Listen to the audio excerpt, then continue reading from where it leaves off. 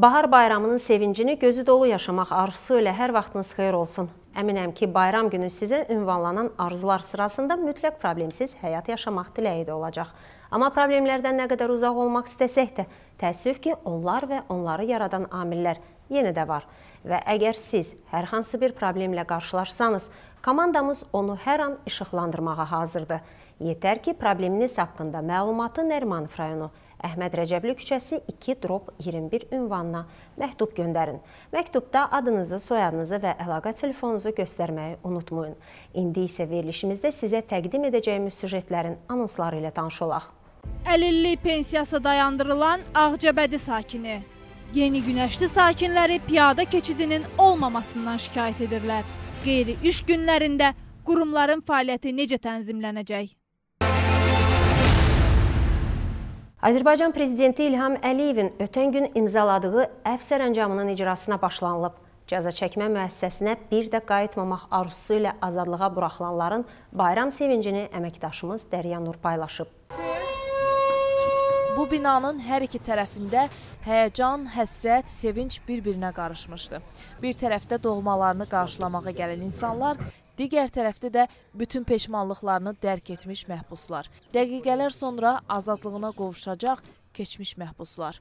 Prezident İlham Əliyevin 18 martda imzaladığı əf sərəncamının icrası Qaradağ rayonunda yerləşən 12 saylı cəza çəkmə müəssisəsində də baş tutdu. Təbrik edirik sizi. Çox sağ olun. Sağ olun. Sevinç hissləri keçirtdik. Zəfər bayramı, üstəlik Noruz bayramı. Bu da bizim üçün bir bayram oldu. Kiminiz e, məhkum edir? Bacımız oğlu. Neçə il əff oldu və yaxud da? Ee, Bir il 5 ay qalmışdı, əff olundu.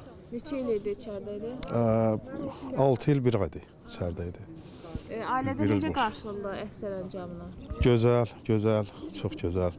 Sevincimizin həddi-hududu yoxdur. Əf sərəncamı ilə əlaqədar 12 saylı cəza çəkmə müəssisəsində də bu gün məhbuslar ə, evə buraxılacaq. Ə, Onların sayı 9 nəfərdir. Bir nəfərin isə cəzası yarıya endirilib.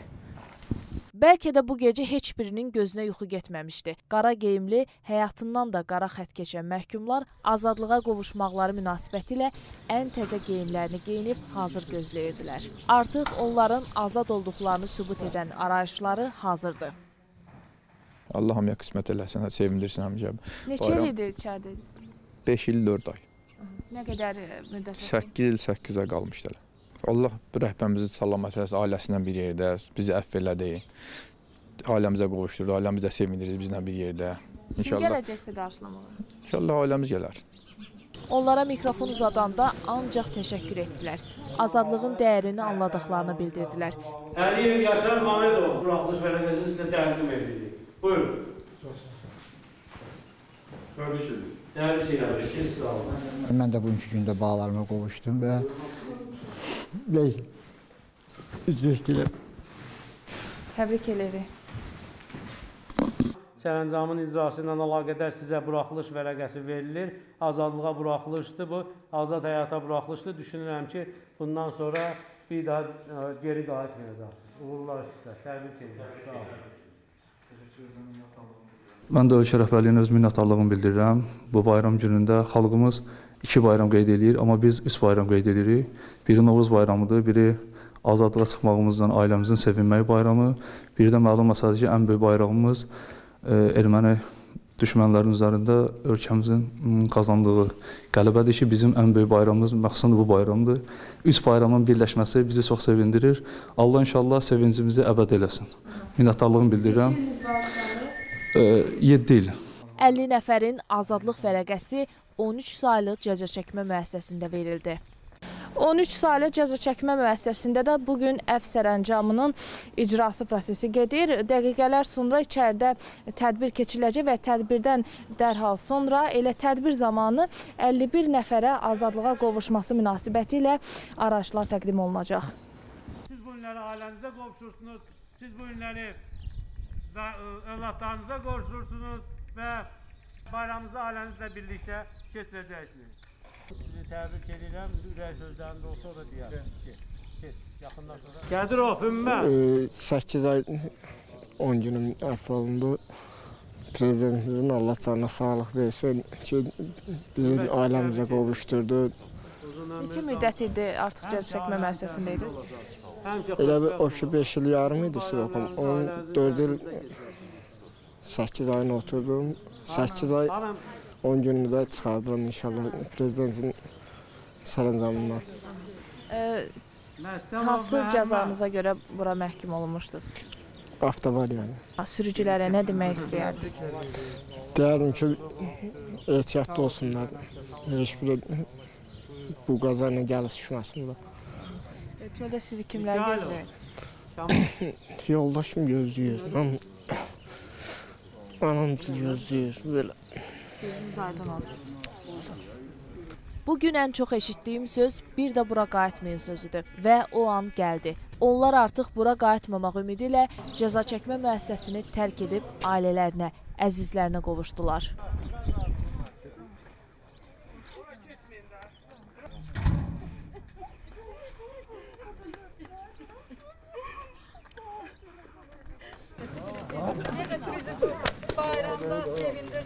Allah başınızdan eksik eləməsin. Qeyd edək ki, sərəncama əsasən azadlıqdan məhrum etmə cəzasına məhkum olunmuş 475 nəfər cəzasının çəkilməmiş hissəsindən azad edilib. Azadlıqdan məhrum etmə cəzasına məhkum edilmiş 22 xarici vətəndaş cəzasının çəkilməmiş hissəsindən azad edilib.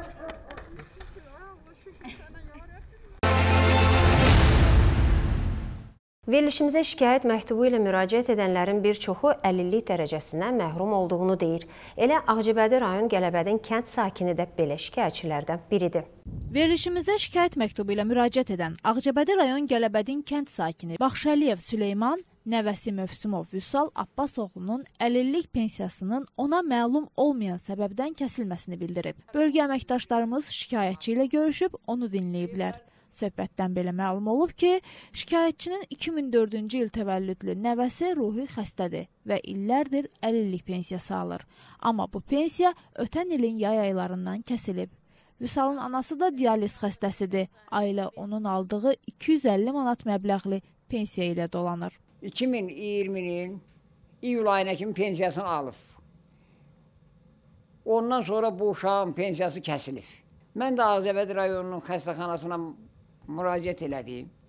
Onlar da mənə dedi ki, get Ağca, Ağdam rayonunun ruhi dispanser xəstəxanasından kağız gətir. Mən də getdim, uşaq orada yatdı. Oradan da ruhi dispanser xəstəxanasından kağız gətirmişəm.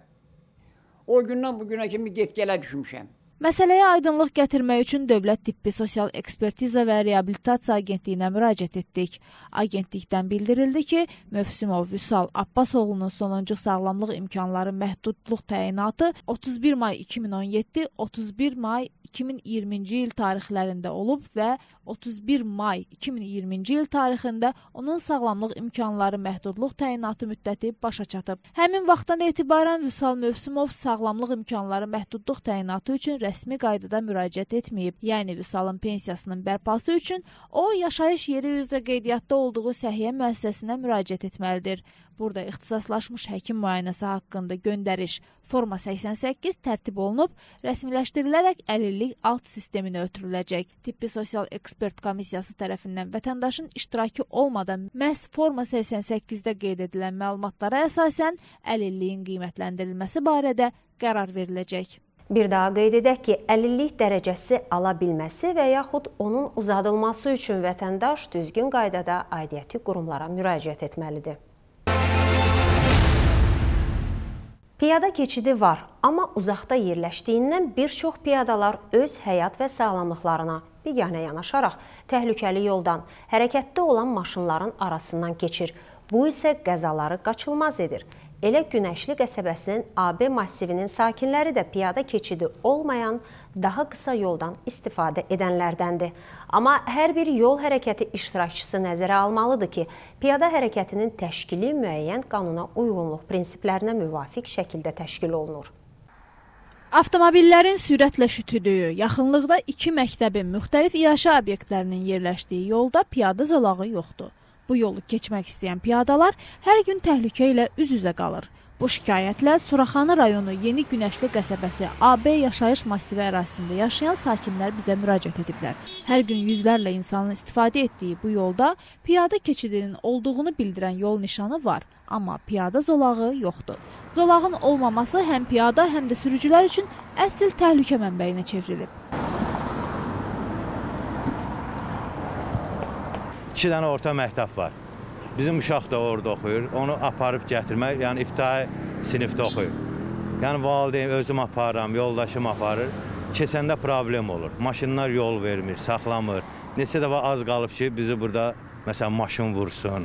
Yəni böyük yoldur. Yol məktəbin yaxınlığında yerləşdiyi üçün oradan məktəblilər istifadə etmək məcburiyyətində qalır. Bu, həm də onların həyatını təhlükəyə atır. Yola keçəndə maşınlar yəni dayanma bilmir, yəni özləri üçün gedirlər onun. Yəni dayanmırlar da gözləyəsən gedib, o da dərsi yetişmək olur elə. Sakinlərin sözlərinə görə əvvəllər ərazidə piyada zolağı olub, lakin sonradan silinib və bu məsələ ilə maraqlanan olmayıb. Bizə ünvanlanan şikayət əsasında Real TV olaraq bu məsələni araşdırdıq. Məsələ ilə bağlı Bakı Nəqliyyat Agentliyi ilə əlaqə saxladıq. Oradan bizə bildirildi ki, həmin ərazinin yol infrastrukturu nəzərə alınaraq orada piyada keçidi artıq mövcuddur. Sakinlərin istədiyi yolda piyada keçidi olarsa, sərt döngənin mövcudluğuna görə həyatları üçün təhlükə yaradar. Yəni yolu tez keçmək dərdinə düşüb 50-70 metr aralıdakı piyada keçidindən istifadə etməmək, üstəlik də aidiyyəti qurumları günahlandırmaq, yumşaq dillə desək düzgün deyil. Tək itirdiyimiz bir neçə dəqiqə olsun. Canımız yox. Odur ki, dəyərli vətəndaşlar, mütləq yol hərəkəti qaydalarına riayət edin ki, həyat və sağlamlığınıza zərər gəlməsin. Novruz bayramı ilə əlaqədar martın 20-sindən 28-nədək asan xidmət və asan kommunal mərkəzlərində qeyri-iş günü olacaq. Martın 29-dan etibarən isə mərkəzlərə müraciət etməklə müvafiq xidmətlərdən yararlanmaq mümkündür. Növbəti reportajımızda Novruz tətili günlərində gücləndirilmiş iş rejimində fəaliyyət göstərəcək rəsmi qurumlardan məlumat verəcəyik. Üzümüzə gələn 9 qeyri-iş günündə hər zaman olduğu kimi gecə-gündüz bilmədən çalışan qurumlar olacaq. O qurumlar ki, fəaliyyəti nəinki bir gün, hətta bir saat axsasa qeyd etdiyimiz bayramın mənası qalmaz. Söhbət əlbəttə ki, Azərsu, Azərişıq və Azərqazdan gedir. Təbii ki, bu qurumların əməkdaşları da növbəli şəkildə bayram günlərində dincələcəklər, amma o şərtlər ki, vətəndaşların məişətində problem hiss olunmasın. Azərqaz İstehsalat Birliyinin mətbuat xidmətinin rəhbəri Ceyhun Səfərov bildirir bildirir ki, bu qurumun əməkdaşları bayram günlərində də fəaliyyətlərini davam etdirəcəklər. Əsasən də qəza xidmətinin əməkdaşları hər hansı bir ə, hadisə baş verərsə, deyək ki, qaz sızması, sayğaclarda nasazlıq, bunların dərhal aradan qaldırılması üçün iş başında olacaqlar. Növbəllik tətbiq edilməklə əməkdaşlarımız işə cəlb olunub. Ə, bayram günlərində biz abonentlərə üzümüzü tutaraq bildirmək istəyirik ki, hər hansı bir narahatlıq olarsa, bizim 104-185 sayılı çağrı mərkəzinin nömrələrinə zəng etsinlər. Ə, sosial şəbəkə üzərindən də bizə yaza bilərlər. Eyni zamanda 077 3 104 104 sayılı WhatsApp nömrəmizə də səsli, görüntülü mesajlarını göndərə bilərlər. O ki qaldı bayram günlərində müştəri xidmətlərinin fəaliyyətinə. Bayram günlərində müştəri xidmətləri Bakı şəhəri üzrə Regional Qazın Satışı Departamenti tərəfindən həyata keçiriləcək. Ayın 20-sindən 28-də daxil olmaqla Yalnız ayın 21-də müştəri xidmətinin əməkdaşları iş başında olmayacaqlar. Əsasən müştəri xidmətinin 50 nəfər mühəndisi kartların, koda düşmüş kartların bərpası, qüsurlu əməliyyatların bərpası, eyni zamanda zədələnmiş və ya itirilmiş kartların bərpası və digər bir neçə mühüm qazsız qalmamaq üçün vacib olan əməliyyatları, xidmətləri icra edəcəklər. Və onu da qeyd etmək istəyirəm ki, bu dəfəki müştəri xidmətlərinin fəaliyyətində bir, bir neçə digər məqamlar da var ki, bunlar artıq yeni, yeni quraşdırılmağa başlanılan əvvəlcədən ödənişli Zenir sayğacları ilə bağlıdır ki, onların kartlarının da bazaya işlənilib aktivləşdirilməsi əməliyyatları da bayram günlərində tətbiq olunacaq. Əvvəlcədən ödənişli sayğaclar əgər əvəzlənibsə, onların smart kartlarının verilməsi də həmin günlərdə həyata keçiriləcək. Müştəri xidmətlərinin əməkdaşları səhər saat 10-dan 15-ə qədər iş başında olacaqlar. Yalnız bazar günləri saat 10-dan 14-ə qədər iş başında olacaqlar. Müştəri xidmətləri eyni zamanda Regional Qazın Satışı Departamentinin inzibati binasında da həyata keçiriləcək. Əgər hər hansı bir qəza hadisələri baş verərsə, Azərqaz İstehsalat Birliyinin baş direktoru cənab Ruslan Əliyevin göstərişi ilə bu qəza hadisələrinin normalda həyata keçirilən texnoloji proseslərdən daha tez bir zamanda, yəni ən azı 3 saat vaxtından əvvəl icra edilərək təhvil verilməsi nəzərdə tutulub. Qeyri-iş günlərində Azərsu Açıq Səhmdar Cəmiyyəti gücləndirilmiş iş rejimində çalışacaq.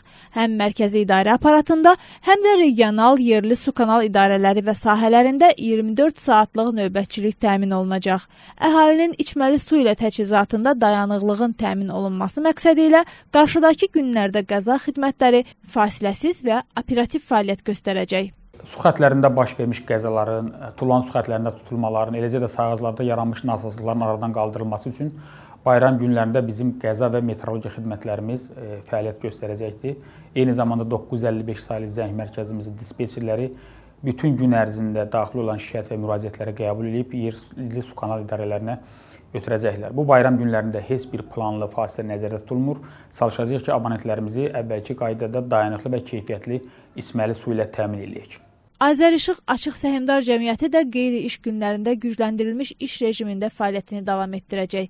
Qurumun mətbuat xidmətinin rəhbəri Vaqif Aydınoğlunu eşidək. Səhmdar Cəmiyyətin mərkəz aparatında regional enerji təchizatı və satış idarəsində şəhər və rayon elektrik şəbəkələrində növbətçilik rejimi tətbiq edilərək qəza xidməti və 199 çağrı mərkəzi 24 saat istehlakçıların xidmətində olacaq. Bayram və qeyri-iş günlərində istehlakçıların dayanıqlı və keyfiyyətli elektrik enerjisi ilə təchizatının təmin olunması məqsədi ilə bütün təşkilati və texniki tədbirlər görülüb. Abonentlərimizdən xahiş edirik ki, yarana biləcək hər hansı problemlə əlaqədar Azərşıq ASC-nin 24 saat fasiləsiz fəaliyyət göstərən 199 saylı çağrı mərkəzinə müraciət etsinlər. Ümid edirik vətəndaşlarımız bu bayram günlərini heç bir problem olmadan keçirəcəklər. Bayram ərəfəsinə təsadüf edən görüşümüz sona çatdı. Verilişimizin kollektivi adından hər birinizi Novruz bayramı münasibəti ilə təbrik edir və həyatınızın daima bahar tərəvətli, problemsiz olması diləyi ilə sağollaşırıq. Sağ olun, salamat qalın.